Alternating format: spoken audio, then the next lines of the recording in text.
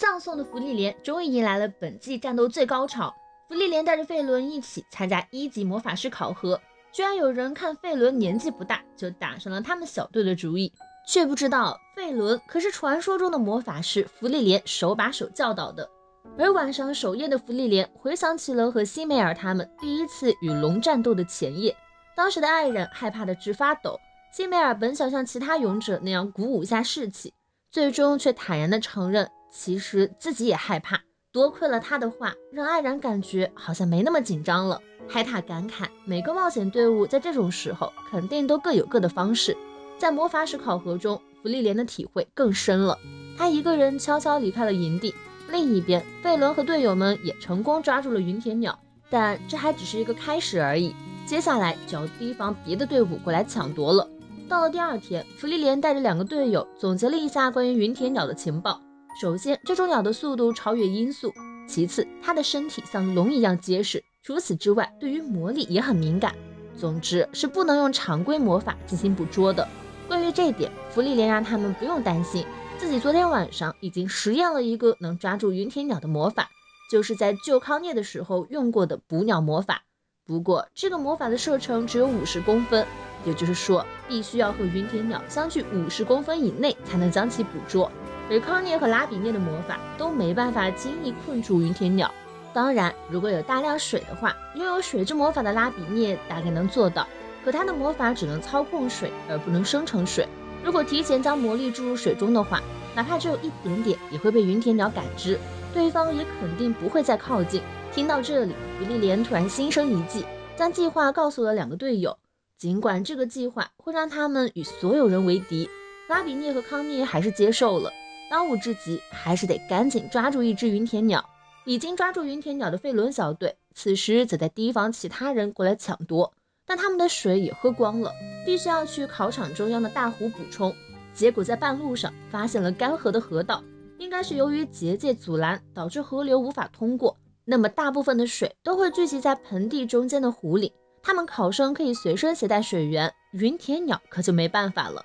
换句话说，云田鸟想要喝水，必须往那个湖边走。想必已经有考生注意到了这一点，并且正在湖边埋伏着。想到这里，费伦的男队友便提议先忍着渴，保护云田鸟要紧。没想到刚准备折返回去，一支盯上他们的队伍就骤然出手了。好在三人反应都极为快速，立刻挡下了他们的进攻。三个人各挑了一个对手，眼看双方的斗争一触即发，突然地面震动，便伴随着一声巨响。回头望去，一道光柱冲天而起，而那边是湖的方向。引发这个动静的是康涅。他居然将整片湖泊都冻结了起来，守在湖边的一些沉不住气的队伍顿时慌乱地试图化冰，只有第十三小队无动于衷。作为首领的邓肯老爷子当机立断，云田鸟已经不会再靠近这片湖了。不过第二小队竟然敢搞出这么大动静，说明他们肯定有办法捕获云田鸟，到时候直接抢他们的就行。福利连队伍的三个人各忙各的。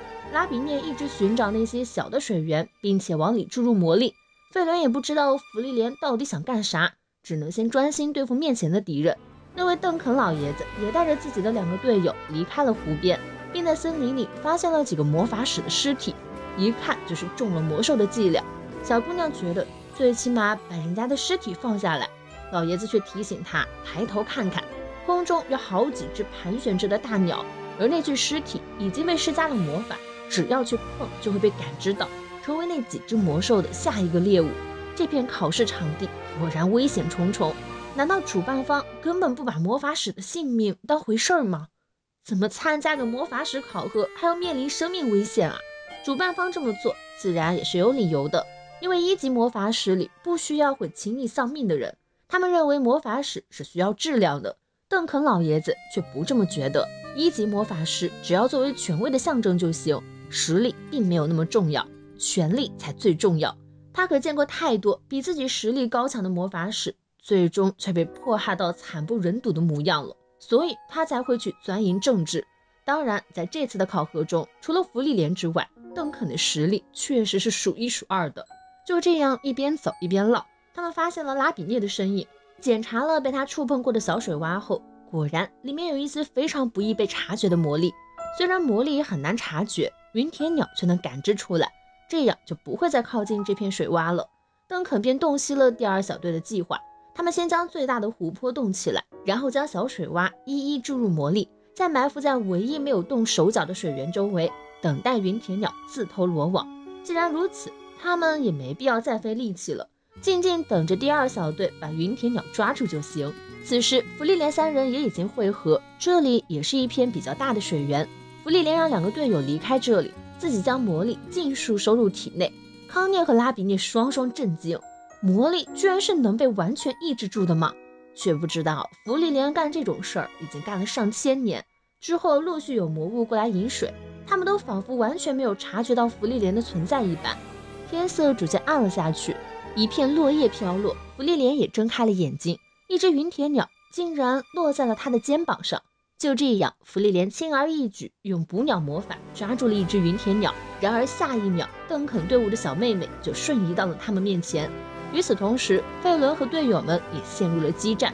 费伦的对手也是一位女魔法使，她不满费伦只用最基础的招式，这种感觉太沉重了，就好像在和自己的老魔法使爷爷对战一样。费伦非常诚实地告诉对手，师傅告诉过他。光靠这些就足以对付这个时代的魔法使了。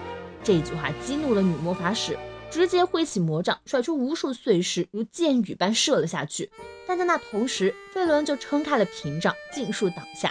女魔法使给自己找补，表示如果是我那位白毛队友，你现在早就死了。费伦却面无表情地回复他：“可你才是你们队里最强的，不是吗？”当然，女魔法使说的那位白毛队友拥有非常丰富的实战经验，是曾与魔王军残党战斗过的北方魔法队队长。他的对手想必危险了。然而，事实上是白毛被尤贝尔追着打，无数看不见的攻击从四面八方射向白毛，这是能将物体切开的魔法，而白毛根本无法全部防下来。很快，脖子上就中了一刀，尤贝尔却也紧跟着停下了攻击。并且承认自己的射程的确只有五米远。费伦听说自己的队友有危险，立刻加大力度，直接用同时放出的大量攻击魔法让对手防不胜防。这种靠蛮力取胜的方法，差点把女魔法使弄破防。很快，他的防御速度就跟不上了。只听见这边发出了巨大的爆炸声响。与此同时，尤贝尔被白毛的目光拘束魔法困住，不仅身体动不了，连魔力都无法调动了。白毛的魔法可以让视线内出现的家伙无法行动，只要他不把视线从尤贝尔身上移开，尤贝尔就无法动弹。但白毛却并没有下杀手，只是让尤贝尔交出云铁鸟。尤贝尔便趁他解开魔法的一瞬间，扔出云铁鸟，吸引他的视线，同时利剑一般窜了出去，挥起长枪就刺向了白毛。可惜还是差那么一点儿，身体也再一次被拘束。既然如此，白毛便不打算再对尤贝尔留情。他在战场上见识到了太多的残酷，杀人什么的早已成为家常便饭。听到他这么说的尤贝尔也闭上了眼睛，接受了命运，却迟迟没有等到对方动手。他一直认为一个人擅长的魔法跟此人的阅历和人性有很大关联，而封住对手行动能力的这个魔法，就好像专门为了在动手杀人前得到犹豫的时间一样。白毛并没有否认，这的确是让他做好杀人觉悟的时间。现在他已经下定决心了，眼看白毛就要杀死尤贝尔，千钧一发之际，费伦比他更快，用魔杖指向他的脖子。白毛简直不敢置信，什么鬼玩意儿？我队友被打倒了，而且他刚刚完全没有察觉到费伦的气息。白毛问费伦，把那位女魔法使怎么样了？费伦毫不犹豫回答，杀掉了。没想到听到这句话的白毛反而放了尤贝尔。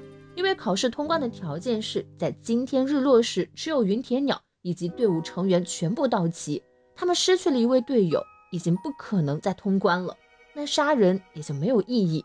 认输后，白毛果断转身离去。费伦的第三位队友眼镜哥的状况却不是很好，眼镜哥伤痕累累，却还有心情嘲讽对手的基础不扎实，然后宣布这场战斗是自己的胜利，因为他已经发现了对手的弱点。话音刚落，另一个眼镜哥就出现在对手身后，掐住了他的脖子。好家伙，原来眼镜哥会影分身啊！他毫不留情地将对手电晕过去。另一边，白毛也找到了队友女魔法使，发现人并没有死，心情肉眼可见的好了起来。就是魔力耗尽，走都走不动了，只能任劳任怨地背起了队友。结果找到第三位队友，发现这一位也动不了了，哭唧唧的也让他背。可惜白毛对男人就没有那么温柔了，直接把队友当货物一样，用搬运魔法举了起来，就像修宝在队里的待遇一样。距离第一场考核结束仅剩两三个小时，三人都不抱什么希望了。万万没想到，居然在半路遇到了一只云铁鸟。白毛立刻用目光拘束魔法，将其定住。真是踏破铁鞋无觅处，得来全不费工夫。所以刚刚三战两败，到底是为了什么呀？与此同时，芙莉莲他们还在和丸子头妹妹对峙。突然，丸子头的身影瞬间消失了。紧接着，康涅发现芙莉莲手里的云铁鸟笼子也不见了。结果，芙莉莲还有心思感慨：这魔法可真有意思。抢走云铁鸟的丸子头自然不会留在原地。芙莉莲便将目光转向了对面的老爷子和中年男人，没想到老爷子居然认出了芙莉莲。但即便如此，他还是打上了芙莉莲他们队伍的主意。芙莉莲对此不以为意，中年男人受不了他那副高傲的态度，表示在他和邓肯对战的时候，自己会把他的两个小队友杀死。说这话也太不把康涅和拉比涅放在眼里了。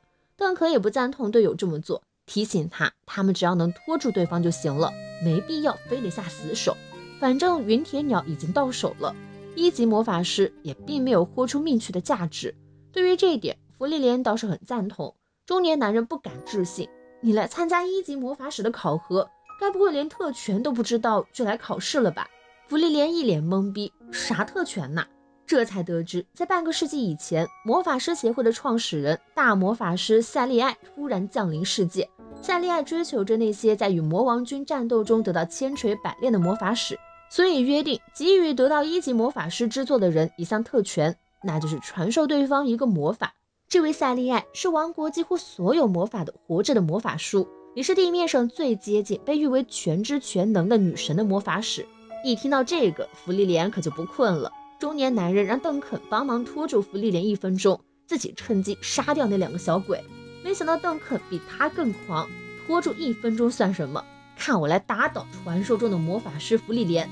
下一秒，康涅和拉比涅脚下的地面就在中年男人的操控下猛然升起，芙莉莲和邓肯之间的战斗也一触即发。